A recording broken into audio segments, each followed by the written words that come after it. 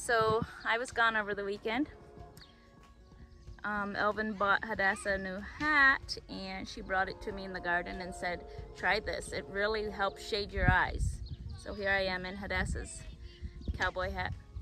But while I was gone, um, the cows got out one night and they headed to the garden because the sweet corn is tasseling and it just smells really sweet. And I think they smelled that and that's where they wanted to go. Anyway, in their journey to the sweet corn, they knocked down a pepper plant.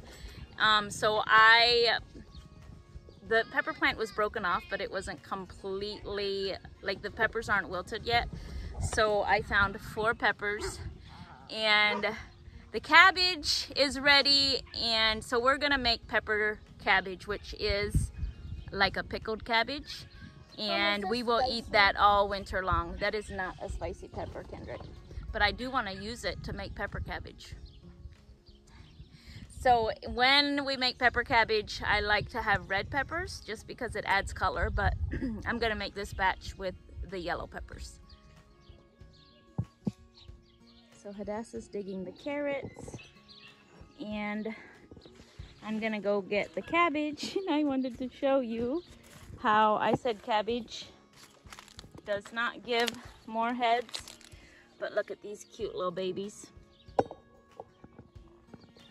those are little baby cabbages where I cut one and some of this broccoli needs to be taken off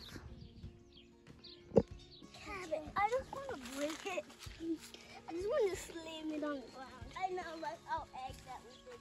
I want to yeah. it. I just it on the ground. I just want to. And how can? I it down yeah. But then we I. So I'll do this to plug one, plug it in, then I can fill it up with water. Well, that's just our rinse tub, so so I'm I've got the beginnings of my canning outdoor canning kitchen set up out here um, we'll add things to it as we go but for today we just need the wash tubs and a table Harrison is scrubbing the carrots. As a general rule of thumb for um, one recipe of pepper cabbage you need a head of cabbage one pepper one onion and one carrot. A small onion. So this is approximately the equivalent of one recipe of pepper cabbage. So you have one head of cabbage, one pepper, a large carrot, but my carrots are still little, so I'm using three, and a small onion.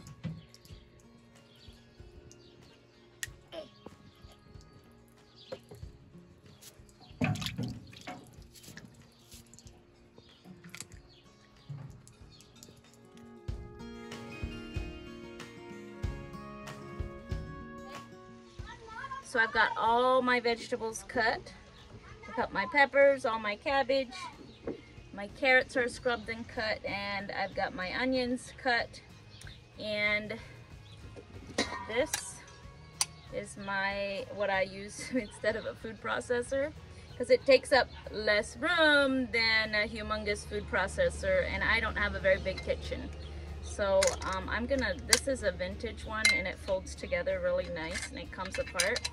So this is all the storage room that it takes. And I'll try and link, they make newer models of this and I'll see if I can find one to link for you.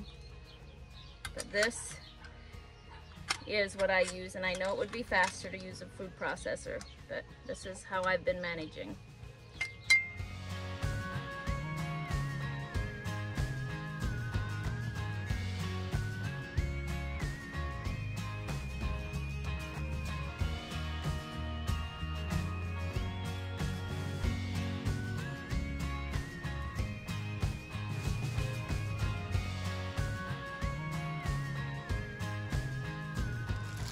So now that I have my cabbage and carrots and onions and peppers all shredded, we're gonna add one teaspoon per recipe. One teaspoon of salt per recipe. So I had three heads of cabbage, so I used three teaspoons of salt. You're just gonna mix it all together real well.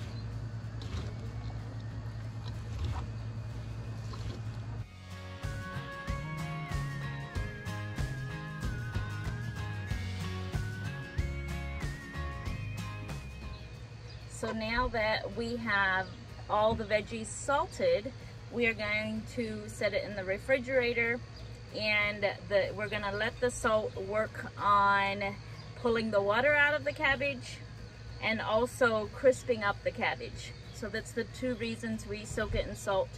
Um, I've left it anywhere from three hours to overnight.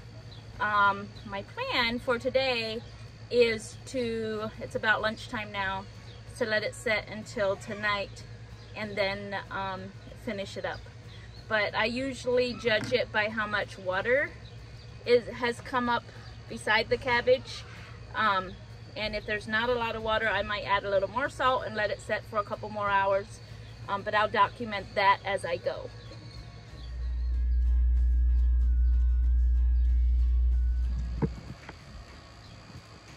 So the cleanup crew is here. And you can clearly see why I prefer to do this outdoors. And I do cut the core out of my cabbages. I don't know if it's absolutely necessary, but I have plenty of cabbage and I don't really feel like I need that core.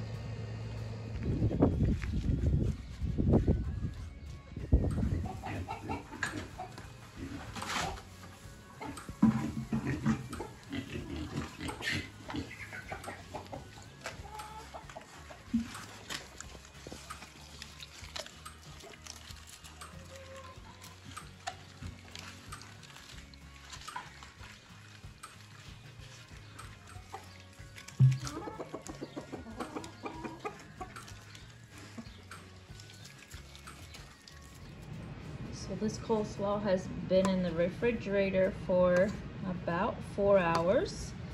And you can see how there's water that has accumulated in the bottom. So I'm gonna dish some out because I wanna make some creamy coleslaw, fresh coleslaw for our supper. And then we are going to can the rest. So the rest of it, this we're just gonna put in this strainer and strain all the salt water off of it.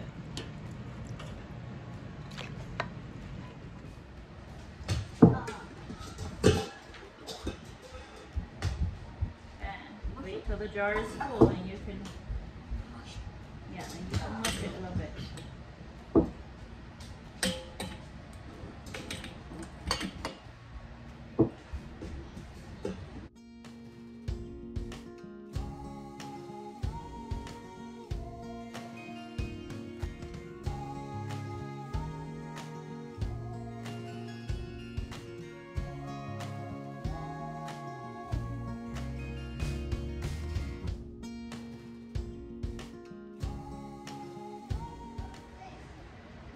So this is my vinegar and sugar mixture that I've boiled together.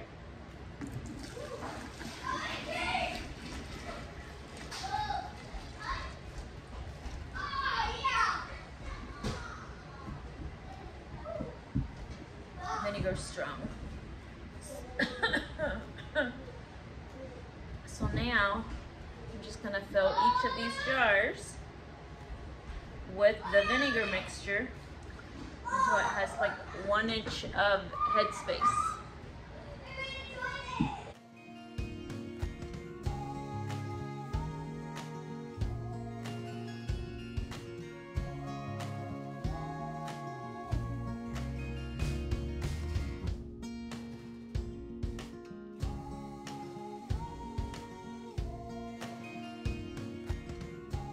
So then I just take utensil, a knife or a fork, and make sure you work all the bubbles out. And I make sure the all the cabbage is under the brine. Is this the one that needs more? Mm -hmm. And I add some more brine if I need to.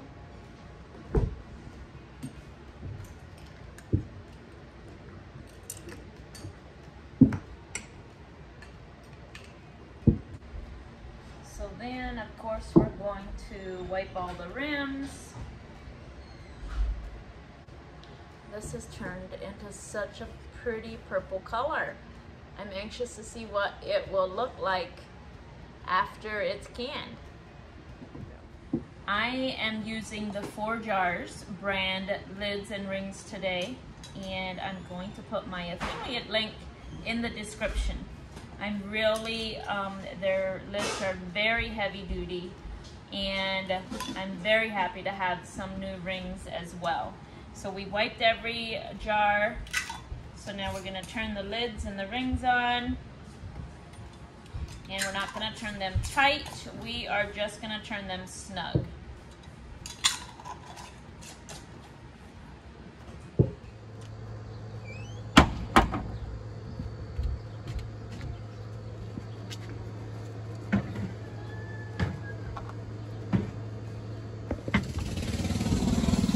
So I fit 11 pint jars.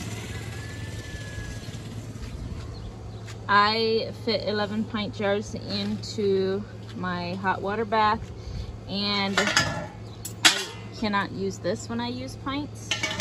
But since it's just a 15 minute water bath, I'm not too worried about them sitting down there on that hot bottom.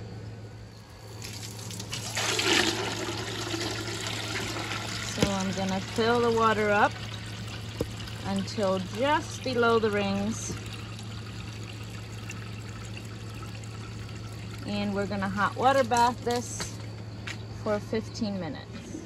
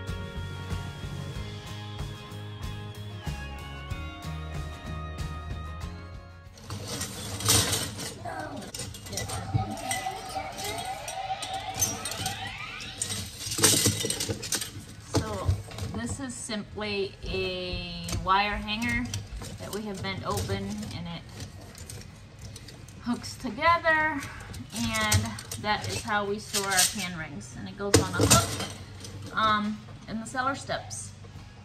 Okay.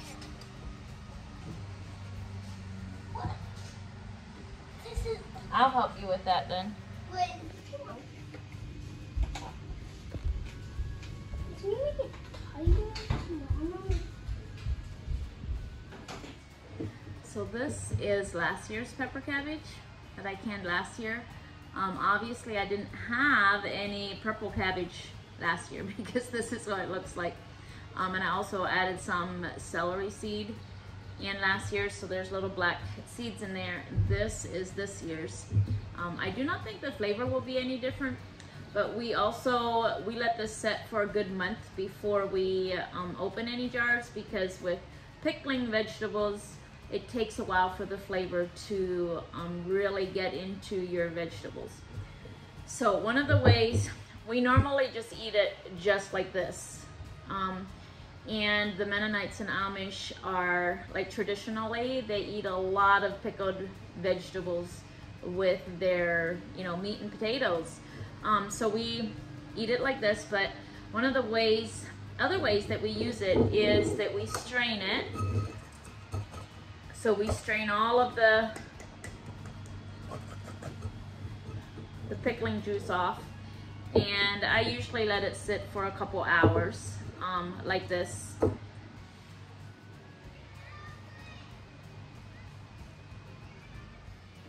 So after you've strained off all the pickling juice, I add some mayonnaise and we will then have a more creamy coleslaw to go with any winter dish. And the cabbage actually stays very nice and crunchy. So there's that beautiful texture to add to your winter dishes as well. There you go. There you have a beautiful, um, delicious home canned coleslaw for all winter long.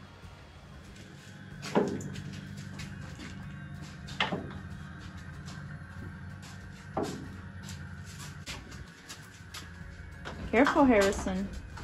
Harrison. Is that all of them? Yeah. It's going to get the last.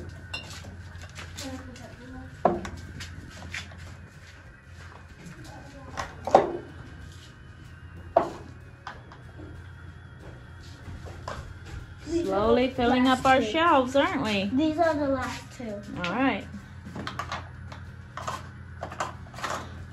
Don't push them off the back. I'll get that one.